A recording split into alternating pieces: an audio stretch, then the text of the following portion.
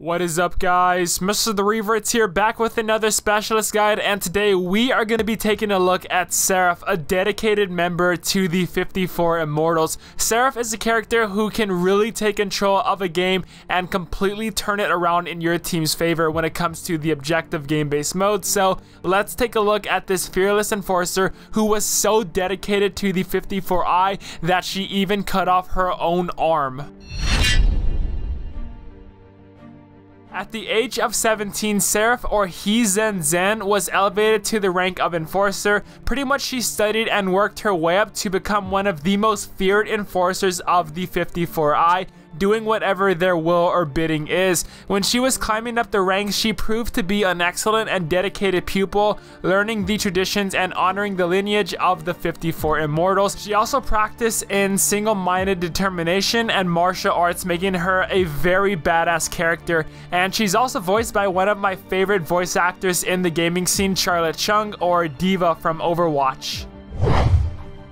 Now guys, Seraph can be a total game changer for your team if the player uses her correctly. So let's first take a look at Seraph's specialist equipment, which is the tac deploy. The tac deploy acts as a spawning beacon, so wherever you place that down is where your team is going to spawn in, and the radius for the tac deploy is fairly large, so you won't necessarily spawn at the exact location, just kind of in that general vicinity. You could spawn in a different room or a different area that may be cut off from a wall, so do keep that in mind. Now, the attack deploy takes 1 minute and 35 seconds to charge up, but at the very start of each game, your meter is going to be about halfway there, so you'll have about 47 seconds for it to charge, again, right off your first initial spawn. And also, the tac deploy is going to last for 25 seconds, which really is not that long of a time. However, you can have it charge up faster at 1 minute and 6 seconds if you use the specialist charge, so definitely use this on your Seraph loadout because you can completely control your team spawns.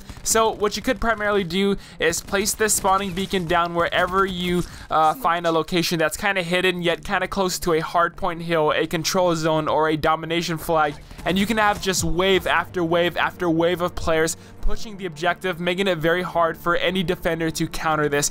I do not recommend playing Seraph in games like TDM or Kill Confirm because her spawning beacon really won't have that big of an effect for you or the other team, so instead switch it out for maybe like a Molotov or a concussion grenade. Seraph can also really change up the rules for search and destroy, but you have to play it really, really smart because for search, it does take a while to get and you can only use the spawning beacon once per game in search. So if you get it and then respawn and then die right after, you cannot earn the beacon again. And also, you more than likely will not be able to charge up your specialist weapon in time, making Seraph completely useless for search and destroy. Now, Seraph can also be a reward in clutch situations, but again, you only have one chance to do this. So it's kind of like a risk versus reward there. But to me, the risk far outweighs the reward. So I do not like to use her, nor do I recommend using her for search and destroy.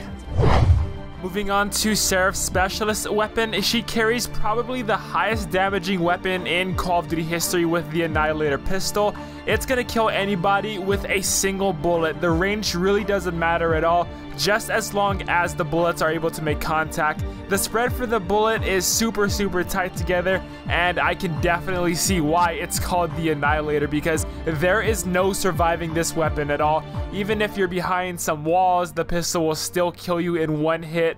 Now, if you're behind something that's thicker, the bullets won't penetrate through it, of course, um, but for walls that are pretty thin, they are no match. The pistol is also going to last for 30 seconds, and you get a total of 6 bullets, so you really, really have to make sure every shot counts with this pistol. The Annihilator also quite literally annihilates score streaks. For example, the UAV and counter UAV both take one shot to destroy from the pistol. The sentry gun also takes one bullet, and then for streaks that have to be dropped onto the map like the care package or the mantis can easily be destroyed with the care package only taking two shots and the mantis deploys ship only taking four shots. The sniper's nest also only took two shots as well but basically pretty much every streak is made out of paper compared to the Annihilator, except for the gunship and the Thresher, both pretty much are impossible to shoot out of the air.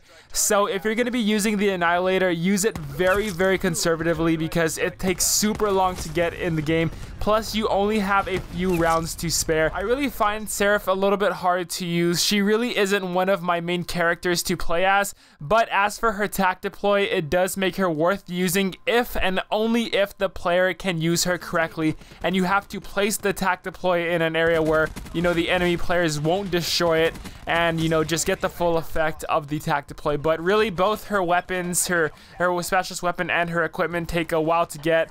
Plus, they only last for a, a, short duration of time. So she's not one of my main characters. I can get more use out of a different character for sure. But maybe if you guys can master her for uh, search or another game mode, then she can prove to be very, very effectively. So guys, tell me your thoughts about Seraph down below in the comment section. And if you have any thoughts or comments about Seraph, any tips, please let me know that as well.